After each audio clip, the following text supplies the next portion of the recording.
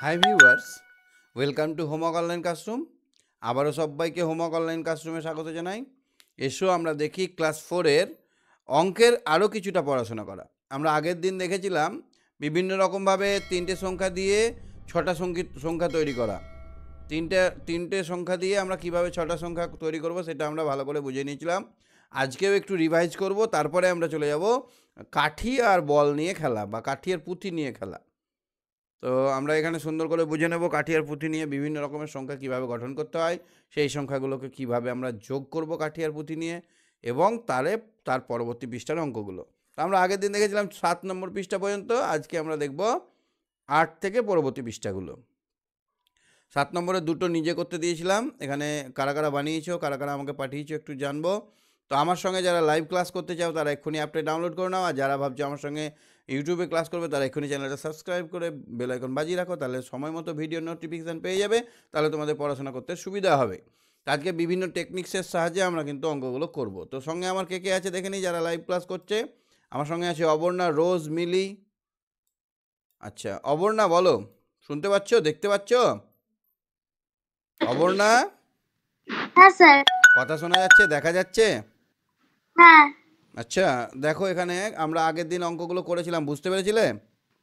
হ্যাঁ না আচ্ছা। স্যার আমি ওই ক্লাসটা করিনি। এই ক্লাসটা করনি। আচ্ছা এই তিনটে সংখ্যা দেখো এক দুই তিন। এই এক দুই তিন দিয়ে আমরা কটা কটা কটা সংখ্যা বানাতে পারব? ছটা। কটা পারব? ছটা। কি করে পারব? দেখো প্রথমে আমি এই তিনটে সংখ্যাকে লিখে দিলাম। একটা প্রথমে দুই আর তিন একটাকে আমি ফিক্স রাখলাম। তাহলে আবার একটা লেখো তিন আর দুই করলে হবে? হ্যাঁ।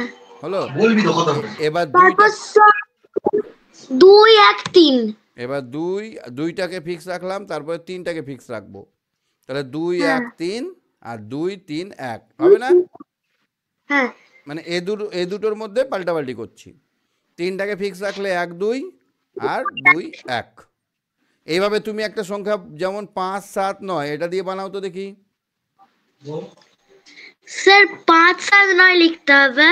পাঁচ সাত নয় লিখতে হবে। তারপর পাঁচ নয় সাত। পাঁচ নয় সাত গুড গার্ল। তারপরে কত করব? সাত পাঁচ নয়। হবে না পাঁচ পাঁচ দুটো পাঁচ কোথায় পেলে? সাত পাঁচ সাত পাঁচ নয়। সাত পাঁচ নয় আবার সাত নয় পাঁচ। এবার নয়টাকে ফিক্সড করব নয়। নয় সাত পাঁচ আর পাঁচ সাত। এরকমভাবে কয়েকটা প্র্যাকটিস করে নেবে যেমন আমি দিচ্ছি ধরো তিন সাত পাঁচ দুই ছয় এক এগুলোকে ছটা সংখ্যা বানাবে হ্যাঁ? হ্যাঁ স্যার পারব। বাড়িতে করবে এগুলো তৈরি। আচ্ছা যদি একটা শূন্য থেকে যায় ধরো দুই শূন্য ছয় তাহলে কটা সংখ্যা তৈরি হবে? আগের দিন আমরা আলোচনা করেছিলাম দুই শূন্য যেহেতু প্রথমে থাকলে সেটা তিন অঙ্কের সংখ্যা হয় না তাই এখানে তিনটে দুটো সংখ্যা বাদ যাবে। অর্থাৎ এই ক্ষেত্রে চারটে সংখ্যা তৈরি হবে। কটা সংখ্যা তৈরি হবে? চারটে। কেমন দেখো? দুই শূন্য ছয়। তাহলে আমরা ফার্স্টে দুই রাখব। দুই রাখলে শূন্য ছয় আর দুই রাখলে ছয় শূন্য। এটা হবে? আবার ফার্স্টে ছয় রাখলে দুই শূন্য আর ছয় রেখে শূন্য দুই। কিন্তু সে প্রথমে যদি আমরা দুই ছয় তারপরে শূন্য ছয় দুই এটা কিন্তু তিন অঙ্কের হলো না বলে এই দুটো সংখ্যা কিন্তু আমরা ধরবো না হ্যাঁ? পরীক্ষায় যদি কোশ্চেন আসে দুই শূন্য ছয় দিয়ে কটা তিন অঙ্কের সংখ্যা তৈরি হবে তখন আমাদের লিখতে হবে চারটি। হ্যাঁ। বোঝাতে পারলাম? হ্যাঁ স্যার। আচ্ছা যদি বলে দুশো ষোলো এই সংখ্যাটা দিয়ে কটা তিন অঙ্কের সংখ্যা তৈরি হবে তখন লিখতে হবে ছটি। কটি লিখতে হবে? ছটি। ছটি। চলো এবার আমরা বল আর কাঠি নিয়ে একটা অঙ্ক তোমার সঙ্গে করব। এইখানে দেখো এককের বল মানে কি রঙের? লাল রঙের। এককের বল মানে এককের বলের। গুঠি মানে লাল রঙের হবে। আর দশকের বল মানে? হলুদ। হ্যাঁ তাহলে আমরা এককের বল মানে জানব লাল রঙের গুঠি। এখানে তিনটে এককের বল আছে মানে এখানে কত লিখব? তিন চার লিখব চারটে আছে বলে। আর এখানে দশকের বল দেখো তো কটা আছে? পাঁচটি। তাহলে এখানে পাঁচ লিখব। এখানে শতকের বলের রং কি হয়? সবুজ। সবুজ। এখানে কত লিখব? পাঁচ। পাঁচ। তাহলে এটা কত হলো সংখ্যাটা? পাঁচশো চুয়ান্ন। হ্যাঁ তাহলে এটা হলো পাঁচশো চুয়ান্ন। তাহলে আমরা যদি তোমাকে বলি এখানে তুমি এটা দেখে বলো এটা কত আছে? এক দুই তিন। আবার এখানে এক তারপর এখানে এক দুই তিন চার। কত হবে এটা? কত এটা? সংখ্যাটা কত? হ্যাঁ? তিনশো চোদ্দ। একদম সঠিক উত্তর। ভেরি গুড এই তো বুঝে গেছো। এবার যদি বলি কাঠিয়ার বলের সাহায্যে এই দুটোকে যোগ করো তাহলে কি হবে? এই সব সংখ্যাগুলো এই- এইখানে ঢুকে যাবে। আর এই এককের হ্যাঁ। সংখ্যাগুলো সব এখানে ঢুকে যাবে তাই তো? এইখানে- দশটার বেশি সংখ্যা হলে সেটা পরের ঘরে ট্রান্সফার হয়ে যাবে তাই তো? ধরো এখানে হ্যাঁ, একর ঘরে দশটার বেশি হলে তার মানে দশকের ঘরে চলে যাবে। দশকের ঘরে দশটার বেশি হলে মানে শতকের ঘরে চলে যাবে হ্যাঁ? আচ্ছা। তাহলে এইটাকে যদি করি এখানে কত আছে? বাষট্টি এখানে বাষট্টি। তার মানে এখানে যদি আমি একটা নতুন কাঠি পুঁতে দিই কাঠি যদি আমরা পুঁতে দিই শতকের কাঠি পুষা পুঁতে দিলাম একটা একক দশক শতক তিনটে কাঠি পুঁতে দিলাম। এবার দেখো হলুদ বল টোটাল কটা হচ্ছে? ছয় ছয় বারোটা কটা হচ্ছে? বারো। দুই তিন চার পাঁচ ছয় সাত আট নয় দশ এগারো বারোটা। একটা কাঠি যাচ্ছে না। আর এককের কাঠি কটা হচ্ছে? এক দুই তিন চারটে। তাহলে এখানে আমার প্রবলেম নেই। এখানে আমার চারটেই থেকে গেল। এখানে দশের বেশি হয়ে গেছে। তাই এই দশটার বান্ডিলটা চলে যাবে শতকের ঘরে। কোথায় চলে যাবে? শতকের ঘরে। তাহলে একক দশকের ঘরে এখানে কত বসবে? দুই বসবে। আর এই দশের বদলে কটা শতক পাবো? একটা। এখানে একটা শতকের বল বসবে অর্থাৎ কি বল বসবে? সবুজ বল বসবে। তাহলে আমার এক চো- বাষট্টি আর বাষট্টি যোগ করলে কত হবে? বাষট্টি বাষট্টি। একশো চব্বিশ। তাহলে এখানে দেখলে আমরা কাঠি বলের সাহায্যে করতে পারলাম? হ্যাঁ। হুম। তাহলে এবার বলো তো এই সত্তর আর শূন্য সত্তর সমান না সমান নয়? সত্তর শূন্য সত্তর। সমান আমরা বসিয়ে দেখি। এখানে সত্তর মানে কি? একটা দুটো তিনটে চারটে পাঁচটা ছটা সাতটা। সাতটা হচ্ছে দশকের বল তাই তো? হ্যাঁ। আর এককের বল কটা? শূন্যটা। শূন্যটা। তাহলে এখানে একটাও বল হবে না। তাহলে এটা সত্তর হলো। আর শূন্য সত্তর মানে দশকের ঘরে শতকের ঘরে একটাও বল হবে না। দশকের ঘরে কটা হবে? সাতটা। ওই সাতটা। দশকের ঘরে সাতটাই বল হবে। আসল জিনিসটাই পালিয়েছে। এখানে?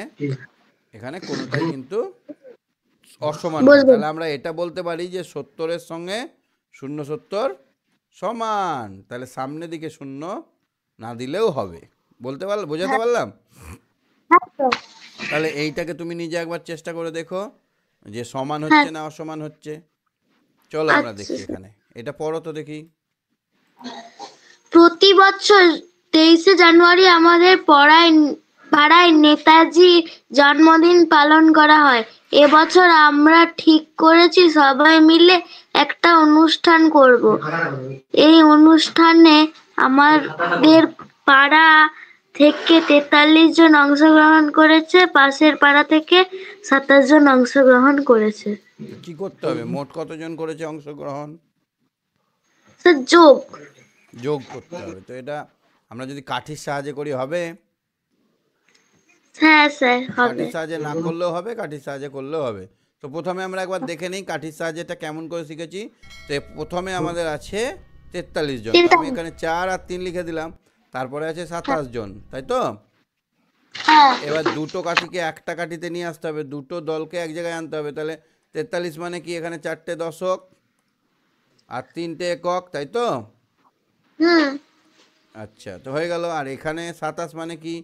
দু এক দুই তিন চার পাঁচ ছয় সাতটা সাতটা একক? আর কটা দশক? এক দুই। তাহলে এবার দশকের ঘরে কটা আসবে? এখানে চারটে আছে আর এখানে দুটো। কটা হলো? এক দুই তিন চার পাঁচ ছটা। আর এখানে এককের ঘরে কটা হবে? এক দুই তিনটে। আর এখানে আছে এক দুই তিন চার পাঁচ ছয় সাতটা সাত আর ছয় কত এই ছয় আর তিন সাত আর তিনে কত হয়? দশ। আই একে আমরা কি করব? বান্ডিল করে নিলাম। এই দশটা এককের বদলে আমরা কি পাবো? একটা দশকের বল পাবো। এই দশকের বলটা কোন ঘরে যাবে? দশকের ঘরে যাবে। তাহলে দশকের ঘরে একটা বল বাড়বে না কমবে? একটা বল বাড়বে। তাহলে কটা বল হলো এখন? এক দুই তিন চার পাঁচ ছয় সাত।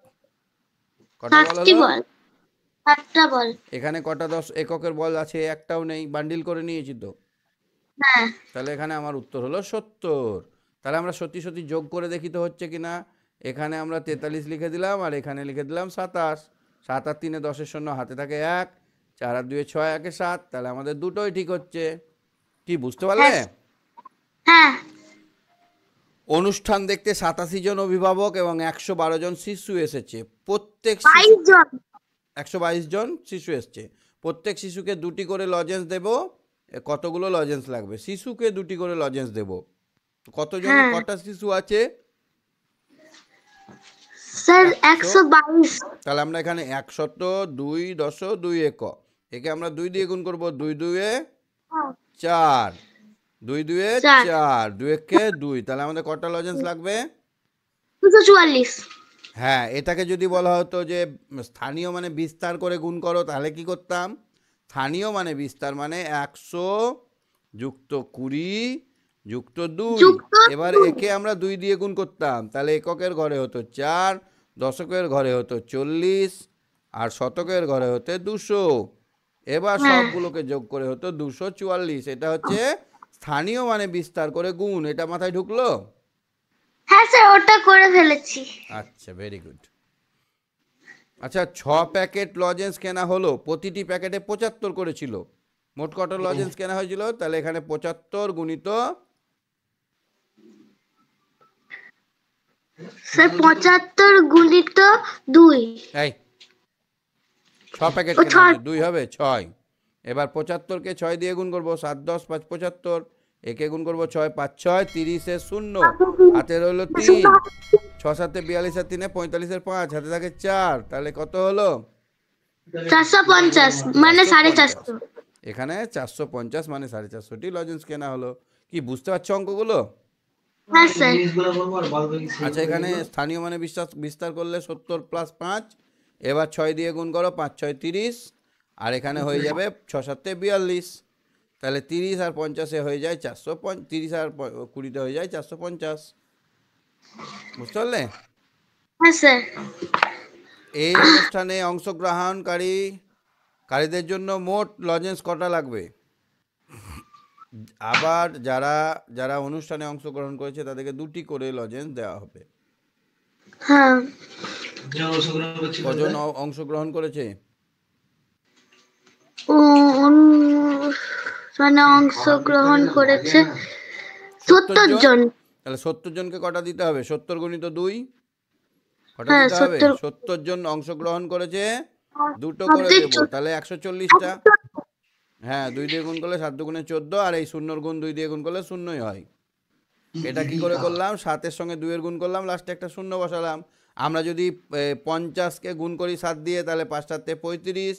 শূন্য বসিয়ে দেবো যদি চার চল্লিশকে যদি তিন দিয়ে গুণ করি তাহলে তিন চারে বারো লিখব এটা গুণটা করছি আর এখানে শূন্যটা বসিয়ে দিচ্ছি তাহলে হয়ে যাবে হ্যাঁ? হ্যাঁ স্যার। আবার যদি এরকম থাকে কুড়িকে তিরিশ দিয়ে গুণ করব তাহলে আমরা সংখ্যার গুণটা করব তিন দুগুণে ছয় আর দুটো শূন্য আছে বসিয়ে দেবো। এটা জানো তো? হ্যাঁ স্যার। আচ্ছা যদি এরকম হয় সত্তরকে তিরিশ দিয়ে গুণ করি তাহলে কত হবে? তিন সাত তিন সাতে একুশ? একুশ তারপর দুটো শূন্য। বাহ এই তো বুঝে গেছো। ঠিক আছে অবর্ণা তুমি সঙ্গে থাকো। খুব ভালো উত্তর দিচ্ছ ভেরি গুড হ্যাঁ হ্যাঁ রোজ বুঝতে পারছ অঙ্কগুলো? রোজ? হ্যাঁ স্যার বুঝতে পারছ অঙ্কগুলো? হ্যাঁ স্যার হুম। আচ্ছা ধরবো তোমাকে? হ্যাঁ স্যার আচ্ছা দেখো তো মোট লজেন্স তাহলে কটা লাগবে? প্রথমে দেখো ছেলেগুলোকে দিলাম। ছেলেগুলোকে কত দিলাম? দুশো চুয়াল্লিশটা লজেন্স দিলাম তাই তো? তাহলে দুশো চুয়াল্লিশটা লজেন্স লাগল। আর পার্টিসিপেন্ট হ্যাঁ? দুশো চব্বিশ লিখেছেন ওখানে। এখানে কত হবে? হ্যাঁ দুশো চুয়াল্লিশ ঠিক ঠিক ঠিক ঠিক ঠিক। আচ্ছা তাহলে দুশো চুয়াল্লিশ আর একশো চল্লিশ যোগ করতে হবে তাই তো? হ্যাঁ। তাহলে কত হবে? এককের ঘরে যোগ করলে চার। আর এখানে দশকের ঘরে যোগ করলে আট। আর শতকের ঘরে যোগ করলে তিন। তাহলে কটা লজেন্স হবে? তিনশো চুরাশিটা লজেন্স লাগবে। এবার বাকি সবাইকে লজেন্স দেওয়ার পর কিছু লজেন্স পড়ে রইল। বাকি লজেন্সের সংখ্যা কত? তাহলে কটা কিনেছিলাম লজেন্স চারশো? চারশো পঞ্চাশটা লজেন্স কিনেছিলাম। সাত ছ প্যাকেট তার চারশো পঞ্চাশ থেকে বিয়োগ করব কত? তিনশো চুরাশিটা তো দিয়ে দিয়েছি। তিনশো চুরাশি থেকে তিনশো চুরাশি বাদ দিলে কত হবে? এক সেকেন্ড আমরা করব এখানে। এখানে আমরা করব চারশো পঞ্চাশ। তার থেকে বাদ দেবো তিনশো চুরাশি। তাহলে হ্যাঁ। শূন্য থেকে চার বাদ দিলে কত হয়? ছয়। হুম। এবার স্যার এখানে শূন্য থেকে বাদ যাবে না তাই পাশের থেকে ধার নিয়ে করতে হবে। হ্যাঁ ধার নিয়ে আমি ওই পদ্ধতিটা শিখিয়েছি আর একটা নতুন পদ্ধতি শেখাচ্ছি। এবার এখানে যেহেতু আমি দশ ছিল না তাও দশ ধরেছি। আমার পকেটে পয়সা ছিল না তাও খরচা করেছি। এইখানে এক বাড়িয়ে দেবো তাহলে নয় ধরবো। পনেরো থেকে নয় বাদ দিলে ছয়।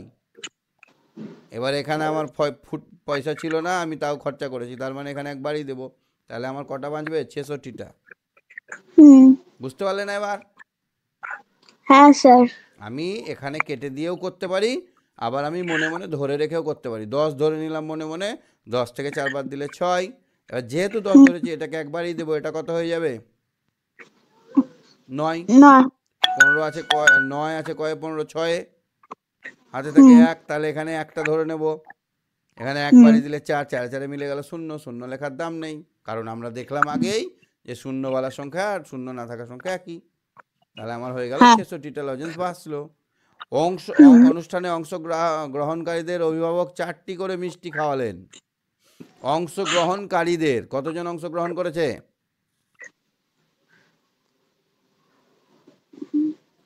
একশো চুল কতজন? সত্তর জন অংশগ্রহণ করেছে? এই দেখো ভুলে গেল। তেতাল্লিশ জন অংশগ্রহণ করেছে আর সাতাশ জন তাই না? হ্যাঁ। তাহলে প্রত্যেককে চারটি করে মিষ্টি খাওয়ালো। তাহলে কটা মিষ্টি লাগবে? সত্তর জনকে চার দিয়ে মিষ্টি খাওয়াবো। তাহলে চার সাথে কত হয়? চার সাথে কত হয়? রোজ? আঠাশ। আঠাশ। তাহলে আঠাশের পরে একটা শূন্য দিয়ে দিলে দুশো আশি হয়ে গেল। আমি একটু আগেই বলছিলাম কোনো সংখ্যা ধরো পঞ্চাশকে তিরিশ দিয়ে গুণ করব তাহলে কি করতে হবে? শুধু সংখ্যার গুণটা আগে করব। তিন পাঁচে? তিন পাঁচে পনেরো। উপরে একটা গুণকের আর একটা গুণ্যতে শূন্য আছে দুটো শূন্যই বসিয়ে দেবো। ঠিক আছে? এরকম যদি সাতকে আমরা দুই দিয়ে সত্তরকে দুই দিয়ে গুণ করব তাহলে কত হবে? সাত দুগুণে চোদ্দ। এখানে একটা শূন্য আছে বসে যাবে। ঠিক আছে? হ্যাঁ। আচ্ছা তারপরে দেখো। তারপরে কি করতে বলেছে দেখো তো? এটা মিষ্টি লাগল কটা? একশো- লাগল শিশুকে দুটি করে মিষ্টি খাওয়ালেন। তাহলে মিষ্টি লাগবে একশো বাইশ। হুম। তারপরে? গুণিত দুই সমান দুশো চুয়াল্লিশটি। তাহলে মোট কটা লাগবে মিষ্টি? ফার্স্টে দুশো আশিটি লাগল তারপরে একশো চুয়াল্লিশটি লাগবে। দুশো তাহলে এবার কটা মিষ্টি হলো মোট? এই শূন্যর সঙ্গে চারের যোগ করলে কত হয়? চার হয়। আটের সঙ্গে চারের যোগ করলে বারো। হয়। বারো দুই হাতে থাকে এক দুই আর দুই চার একে পাঁচ। পাঁচশো? চব্বিশটি। হ্যাঁ তাহলে মোট মিষ্টি লাগবে পাঁচশো চব্বিশটি। অনুষ্ঠানে বিশেষ অতিথিদের তিনশো টাকার মিষ্টি ও অনুষ্ঠানে বিশেষ অতিথিদের তিনশো টাকার মিষ্টি ও ফুলের তোড়া কিনে কিনে আনলাম। চারজন অতিথিকে দেওয়া হলো। তাহলে চারজন অতিথিকে ভাগ করে দিলাম। প্রত্যেক অতিথির জন্য ক টাকা খরচা হলো? তিনশো টাকা কে ভাগ করব আমরা? চার দিয়ে। তাহলে কত হবে? তিনশোকে চার দিয়ে ভাগ করো চটপট। চার সাতে আঠাশ। বলো আঠাশ। চার পাচ্ছে কুড়ি। কুড়ি তাহলে হয়ে গেল পঁচাত্তর তাহলে এক একজনকে পঁচাত্তর টাকা করে মিষ্টি কিনে দেওয়া হলো। শেষে সবাই মিলে জাতীয় সংগীত গেয়ে অনুষ্ঠান শেষ করলাম। তাহলে একটা অনুষ্ঠানে এইভাবেই আমরা খরচার হিসেব করতে পারব পারব না? হ্যাঁ। তাহলে আমরা একটা ধরো অনুষ্ঠান করব কালকে। তা কালকে অনুষ্ঠানে ধরো দুজন গায়ক থাকবে। হুম। পাঁচজন কবিতা বলবে। তিরিশ জন নাচবে। দশ জন নাটক করবে। পঁচিশ জন অভিভাবক আসবে সাতজন জাজ আসবে প্রত্যেককে দুটো করে লজেন্স দেব। ঠিক আছে? দু টাকা করে লজেন্স দেব দশ টাকা করে মিষ্টি দেব প্রত্যেককে কত করে দেব? দশ টাকা করে মিষ্টি দেব। তাহলে এবার কত খরচ হবে হিসাব করতে পারবে? প্রথমত আমাদের যোগ করে নিতে হবে কতজন টোটাল হচ্ছে? তাকে দুই দিয়ে গুণ করব গুণ করলে আমাদের চকলেটের দামটা বেরিয়ে আসবে। দশ দিয়ে গুণ করব তাহলে মিষ্টির দামটা বেরিয়ে আসবে। দিয়ে এবার যোগ করে নেব তাহলে কত টাকার মিষ্টি কত টাকার চকলেট লাগবে আমরা হিসেব পাবো। কি পাবো তো? হ্যাঁ। আচ্ছা ঠিক আছে। ঠিক আছে সঙ্গে থাকো। বুঝতে পারছ তো অঙ্কগুলো? হ্যাঁ স্যার। মানে বুঝতে অসুবিধা হচ্ছে কিছু? না স্যার। অসুবিধা হলে আমাকে জানাবে হ্যাঁ? স্যার উইংসটা করাবেন? হ্যাঁ উইংসটা করাবো। আমি ভেবেই নিয়েছি সামনের সপ্তাহে উইংস করাবো একদিন হ্যাঁ? Okay sir. হ্যাঁ এক নম্বর পার্টটার অর্ধেকের বেশি করে দেবো সামনের সপ্তাহে। ওকে? একদিনে অর্ধেকের বেশি করে দেবো। আচ্ছা। ঠিক আছে। এবার কে আছে দেখি আর? হ্যাঁ মিলি মিলি বলো। মিলি? স্যার। এই অঙ্কগুলো পারবে? কি করতে হবে দেখো তো। হ্যাঁ স্যার এগুলো পারব। রঙিল কাঠ দিয়ে অঙ্কগুলো সংখ্যাগুলো তৈরি করতে হবে। রঙিল কাঠ দিয়ে। তাহলে আমরা এখানে চারটে সংখ্যা পেয়েছি। হ্যাঁ। আমরা টোটাল ছটা সংখ্যা পাবো তাই তো? এখানে one two. Three one three two হলো। এবার আমরা দুইটাকে আগে রেখে দিয়ে তিন এক করতে পারব। দুইটাকে আগে রেখে দিয়ে এক তিন করতে পারব। পারব না? হ্যাঁ। আচ্ছা তারপরে এবার এবার দুই এবারে তিনটাকে আগে রাখব। তিন এক দুই করতে পারব। আর তিনটাকে পেছনে তিনটাকে আগে রেখে দুই এক করতে পারব। এই সংখ্যাগুলো হলো এবার দুটো তাহলে আমাদের এখানে দুটো সবুজ বল লাগবে। কি লাগবে তো? হ্যাঁ। এখানে কটা দুই আছে দুটো লাগবে এখানে কটা আছে তিনটে আছে তিনটে লাগবে সবুজ। মানে শতকের কার্ড তিনটে লাগবে এখানে তিনটে লাগবে। বুঝতে পারছ মিলি?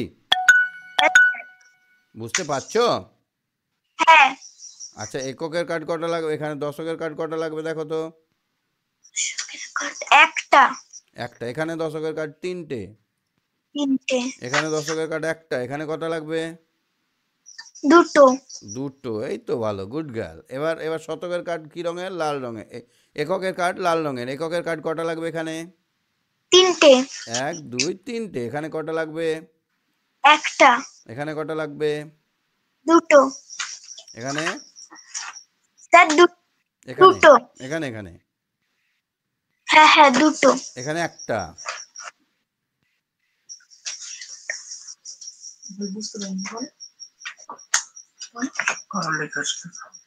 এককের ঘরে যত থাকবে তটা লাল কার্ড লাগবে। দশকের ঘরে যত থাকবে তটা হলুদ কার্ড লাগবে। শতকের ঘরে যত থাকবে তটা সবুজ কার্ড লাগবে। এটা বুঝতে পারলে মিলি? হ্যাঁ স্যার। স্যার ওখানে দুই লেখা ছিল।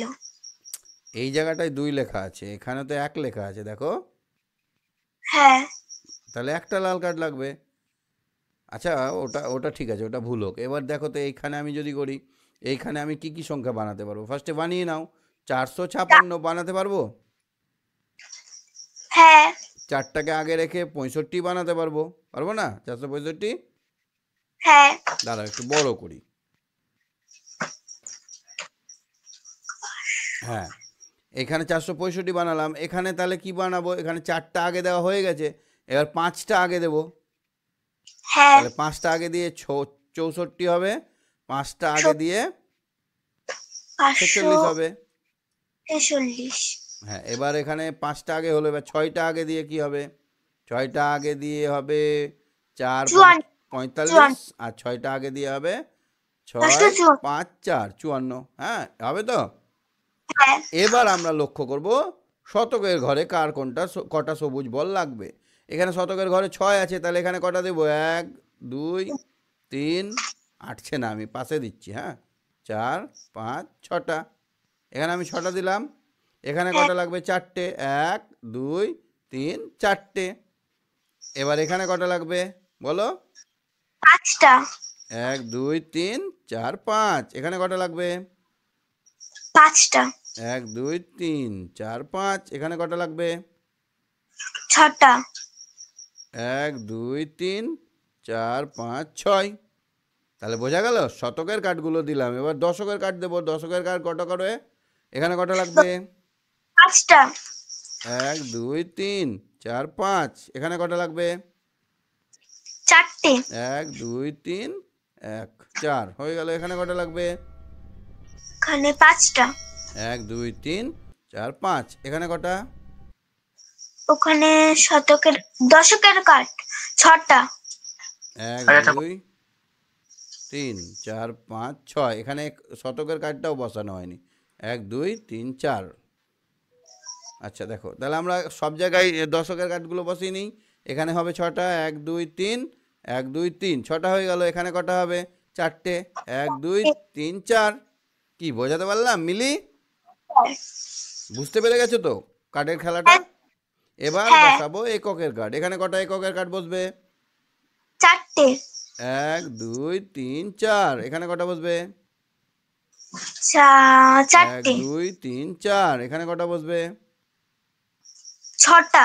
এক দুই তিন চার পাঁচ ছয়। এখানে কটা বসবে? পাঁচটা।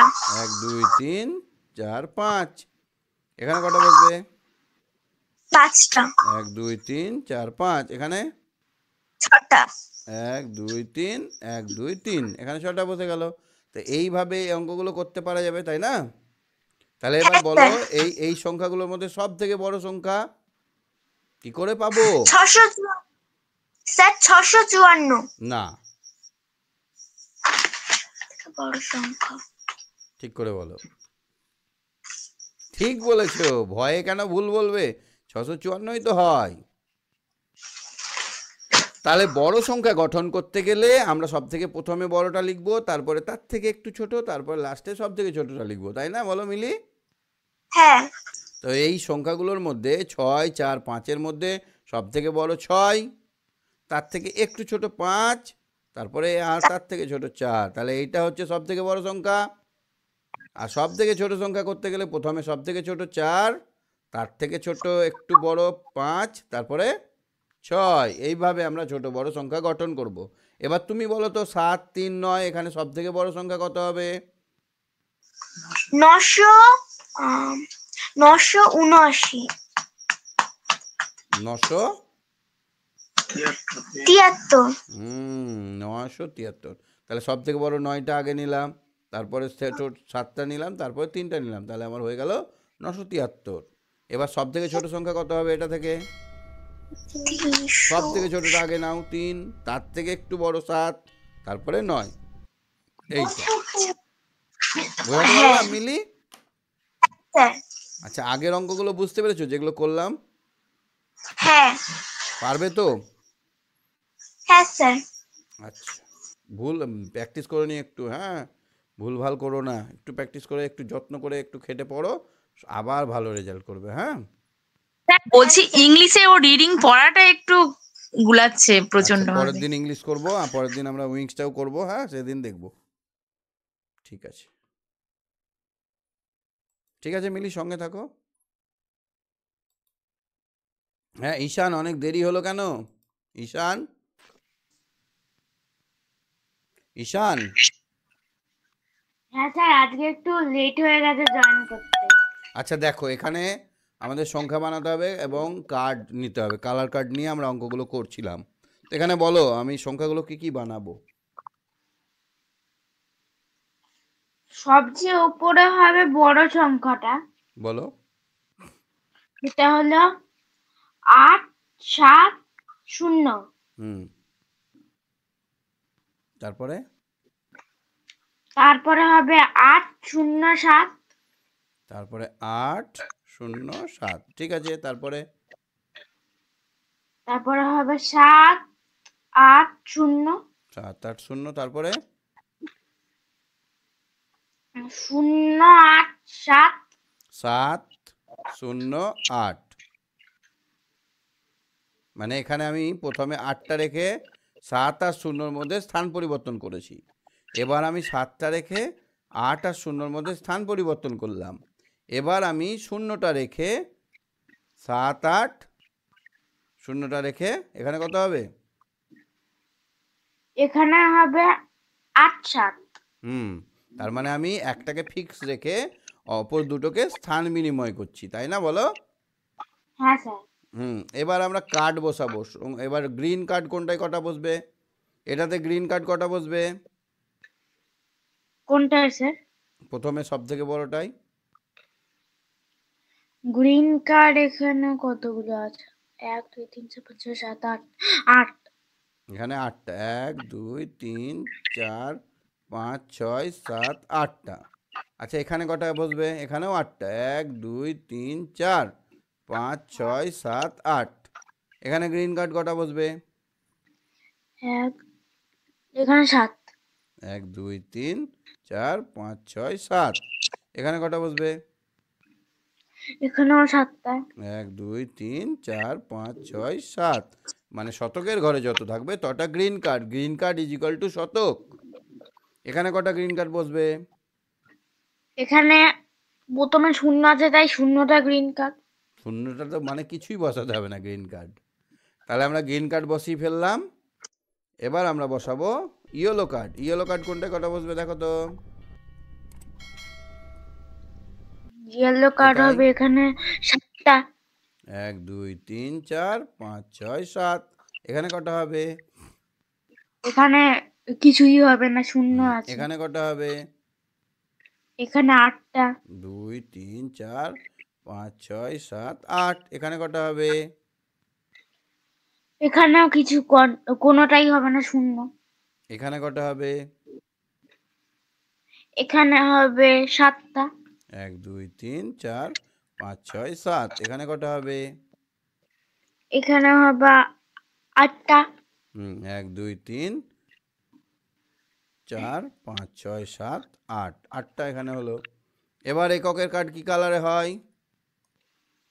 চোখের কার্ড রেড রেড এখানে কটা রেড হবে?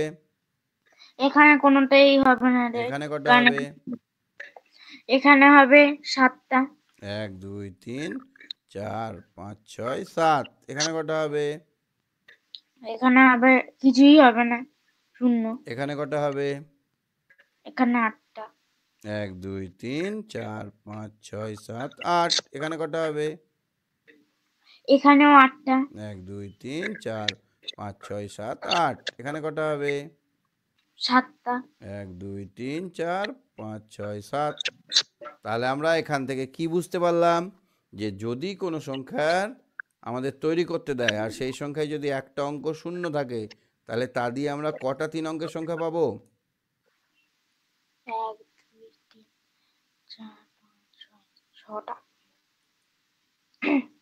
ছটা? না তিন অঙ্কের সংখ্যা আমরা এটা কিন্তু তিন অঙ্কের সংখ্যা নয়। এই সামনে শূন্য দিলে সেটা তিন অঙ্কের সংখ্যা হয়? না। সামনে শূন্যটার কোনো দাম নেই। আমরা একটু আগেই দেখলাম সাতাশি ইজিক্যাল টু শূন্য সাতাশি। তাহলে এই শূন্যটা দেওয়ার কোনো মানে হয় না। সুতরাং তিন অঙ্কের সংখ্যা তৈরি হবে চারটি। কটা তৈরি হবে? চারটি। হ্যাঁ। আর ছ অঙ্কের এই তিন অঙ্কের সংখ্যা তৈরি হবে চারটি আর দুই অঙ্কের সংখ্যা তৈরি হবে দুটি। আচ্ছা যদি সবগুলোই অঙ্ক থাকে মানে এক দুই তিন এরকম সবগুলোই অঙ্ক থাকে শূন্য না থাকে তাহলে কটা সংখ্যা তৈরি হবে? তিন অঙ্কের? ছটা। কটা তৈরি হবে? ছটা। আচ্ছা এর মধ্যে সব থেকে বড় কোনটা আমরা কি করে বার করব? এর সব থেকে মধ্যে- বড় সংখ্যাটা গঠন করতে গেলে এই অঙ্কগুলোর মধ্যে সব থেকে বড়টা ফার্স্টে রাখতে হবে তাহলে আট ফার্স্টে রাখলাম।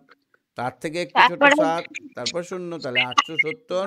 মানে এইটা হচ্ছে ফার্স্ট এটা হচ্ছে সব থেকে বড়। আর সব থেকে কম কোনটা? লাস্ট সংখ্যা কোনটা? শূন্য সাত আট। শূন্য সাত আট সব থেকে স্মলেস্ট শূন্য সাত আট। গুড ঠিক হয়েছে। আচ্ছা দেখো এখানে বিভিন্ন জিনিসের দাম লেখা আছে। আমরা কতটা বাজার করতে শিখেছি সেটা আজকে দেখব। এখানে বিভিন্ন জিনিসের দাম লেখা আছে দেখো দেখতে পাচ্ছ? হ্যাঁ স্যার। আচ্ছা এই দামগুলো দিয়ে আমাদের কিন্তু জিনিসগুলো কেনা বেচা করতে হবে।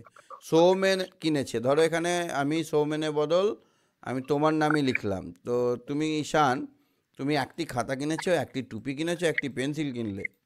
কত টাকা দোকানকে দোকানদারকে দেবে? তাহলে আমাদের দেখতে হবে টুপির দাম কত? খাতার দাম কত? আর পেন্সিলের দাম কত? সেগুলোকে কি করতে হবে?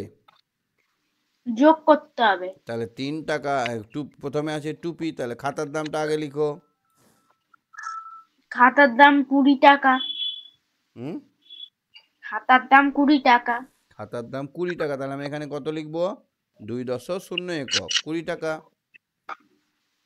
তাহলে তারপরে টুপির দাম টুপির দাম পঁচিশ টাকা। দুই আর পাঁচ তারপরে? পেন্সিলের দাম তিন টাকা। তিন টাকা। পেন্সিলের দাম তিন টাকা। শূন্য তিন এখানে লিখে দেবো। কারণ দশকের ঘরে কিছুই নেই। তা যোগ করলে কত হবে করো চটপট। পাঁচ আর তিনে আট। আর দুই দুয়ে হয় চার। চার। এবার দোকানদার সমান সোমেন দোকানদারকে একশো টাকা দিল। তাহলে উপরে আমি এক শূন্য শূন্য লিখলাম। আর খরচ দোকানদার কত পাবে? আটচল্লিশ তাহলে আটচল্লিশটা বিয়োগ হবে তাই না? হ্যাঁ স্যার। দোকানদার তো জিনিসের দামটা কেটে নেবে তাই না বলো? হ্যাঁ স্যার। তাহলে এবার দোকানদার কত টাকা ফেরত দেবে সোমেনকে বা তোমাকে? আট এখানে শূন্য এই শূন্যটাকে আমরা দশ ধরে নিলাম মনে মনে। দশ থেকে আট বার দিলে দুই এখানে এক বাড়িয়ে দাও এটাকে। এটা পাঁচ হয়ে গেল দশ থেকে পাঁচ বার দিলে পাঁচ। তাহলে বাহান্ন টাকা ফেরত দেবে। এখানে তাহলে লিখতে হবে একশো বিয়োগ আটচল্লিশ সমান বাহান্ন। ঠিক আছে? হ্যাঁ আচ্ছা তারপরে দেখো তো রেশমি এক জোড়া জুতো কিনেছে একটি ছাতা কিনেছে এক প্যাকেট বিস্কুট কিনলো। তো রেশমি কি কি কিনলো জুতো রেশমি কিনেছে জো- এক জোড়া জুতো তারপর একটি খাতা ও একটি ছাতা? ছাতা ছাতা না ছাতা। ছাতা আর এক প্যাকেট বিস্কুট। বিস্কুট কোথায়? এইটা না? হ্যাঁ হ্যাঁ তাহলে কত হলো? ষাট পাঁচ আর আশি। তাহলে এখানে কি কি লিখব? ষাট টাকা লিখব পাঁচ টাকা লিখব আর আশি টাকা লিখব তাই তো? হ্যাঁ স্যার। যোগ করলে কত হয় করো তাড়াতাড়ি। ষাট পাঁচ আশি। আশি আশি একশো। ষাট যদি হয় তাহলে এখানে হবে আশি আর ষাটে আট আর ছয় কত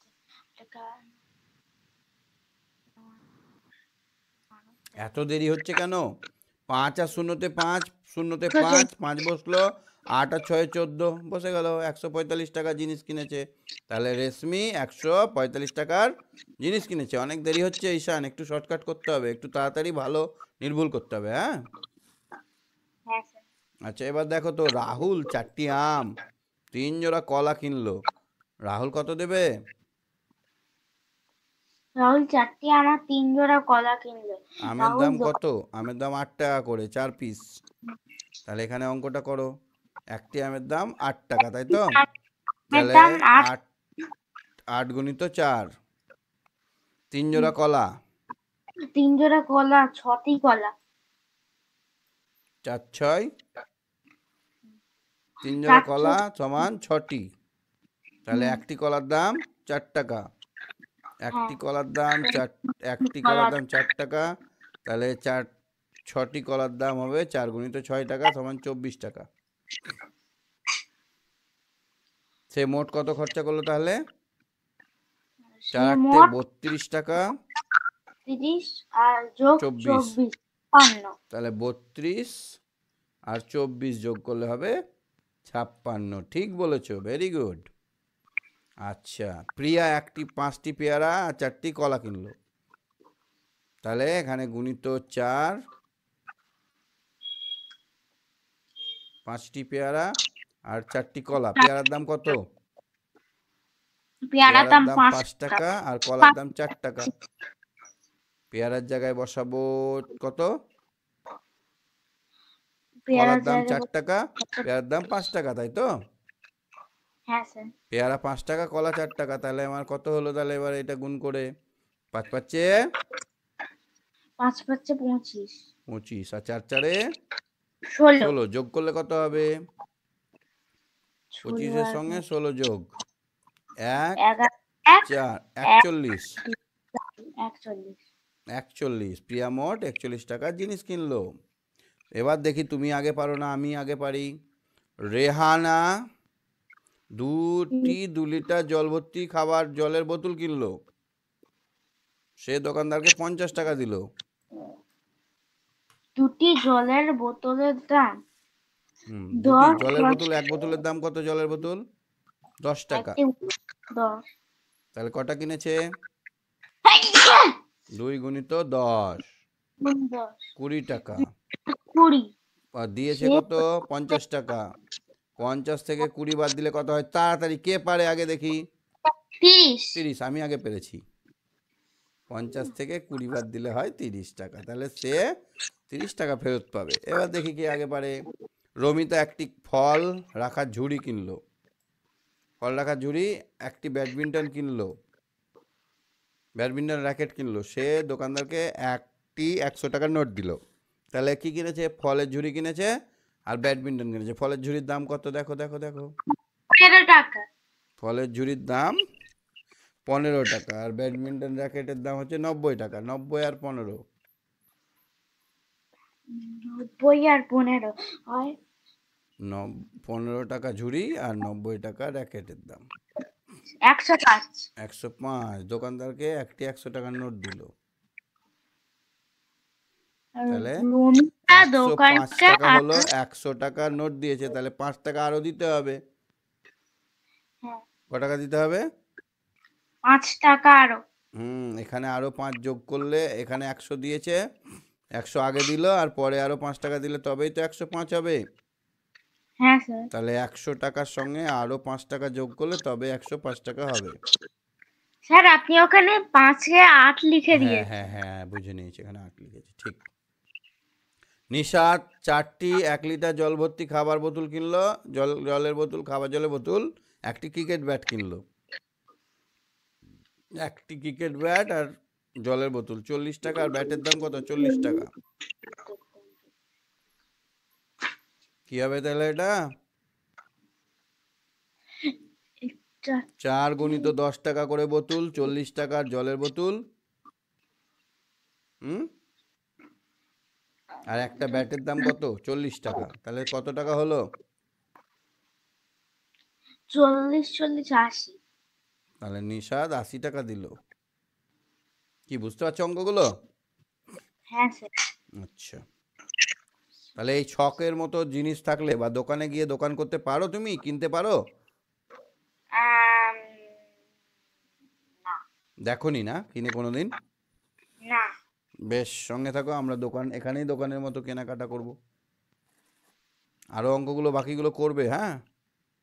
হ্যাঁ স্যার ঠিক আছে সঙ্গে থাকো। আচ্ছা আর কে আছে ঈশান মিলি রোজ হয়ে গেল। আচ্ছা আর কে কে হাত তুললো? হ্যাঁ রোজ। রোজ? হ্যাঁ স্যার।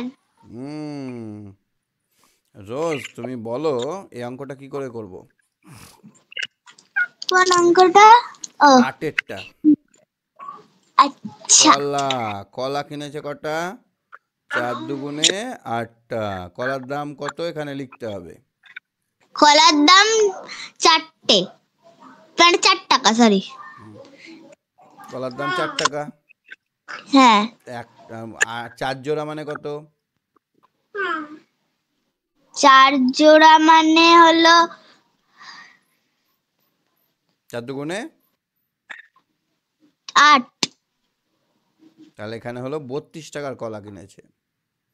এবার লালির কাছে একটা দশ টাকার নোট ছিল তাহলে দশ টাকা।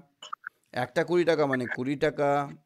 একটা পঞ্চাশ টাকার নোট মানে পঞ্চাশ টাকা। একটা একশো টাকার নোট মানে একশো টাকা। তো সে হ্যাঁ। কোন নোটটা দোকানদারকে দেবে?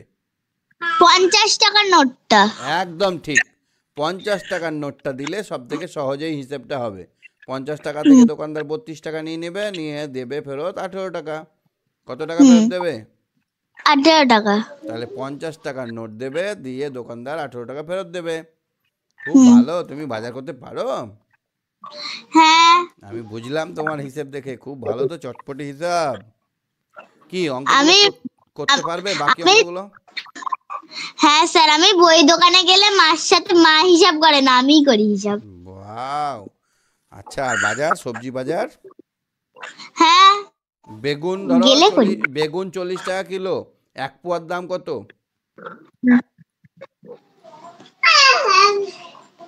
এক পোয়া। বেগুন চল্লিশ টাকা কিলো। এক পোয়ার দাম কত? এক কিলো। এক পোয়া। এক পোয়া মানে আড়াইশো। এই তো ঠকে গেলে। এক পোয়া মানে কত? আড়াইশো। আড়াইশো মানে এক এক পোয়ার দাম কত হবে? আড়াইশো। আড়াইশোর দাম কত হবে? একদম চল্লিশ টাকা হলে আড়াইশো টাকা মতো এক কিলোর দাম চল্লিশ টাকা হলে আড়াইশো।